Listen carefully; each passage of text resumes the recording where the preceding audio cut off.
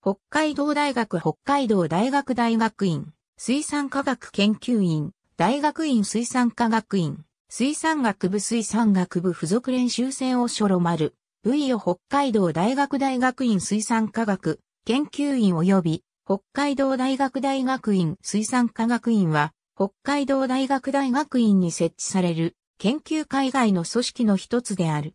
また、北海道大学水産学部は北海道大学に設置される学部の一つである。北海道大学水産学部は札幌農学校水産学科として1907年に設立された。大学院水産学研究科が設置され、付属練習船としてオシャロ丸を保有している。